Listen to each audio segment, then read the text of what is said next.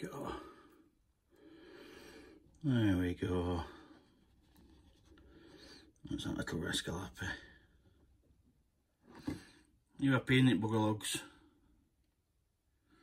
That's you just happy. Cricket doesn't know what's happening, so uh, little star. You enjoy, sweetheart. There we go. There we go. Got it to bloody move eventually. Uh, now, as you might see here, well, you, you, will see, but you won't know, three legs on that side. As you see, that one's missing. And this little rascal molted again.